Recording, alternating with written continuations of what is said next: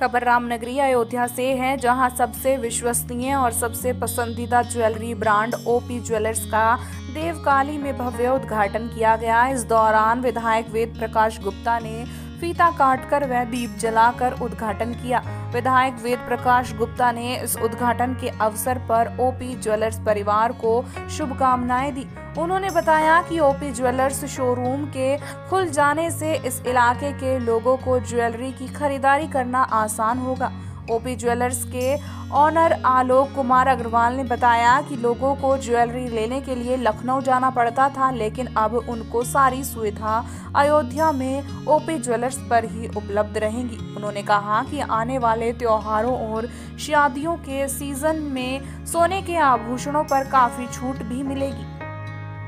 इसका शुभारंभ तो मेरे माता पिता ने और शहर विधायक विवेक गुप्ता जी ने किया है ठीक है?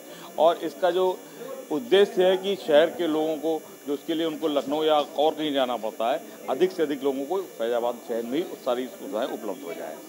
और आने वाले आगामी सीज़न में त्यौहार है, उसके बाद अपना वह शादियों के सीज़न चालू हो जाएँगे तो उसके हिसाब से दीपावली दीपावली हाँ दीपावली और उसके बाद आगे आगामी शादी विवाह के सीज़न में भी खूब अच्छी तरह से लोगों को अधिक से अधिक अच्छी ज्वेलरी के लिए लोगों को हॉलमार्क।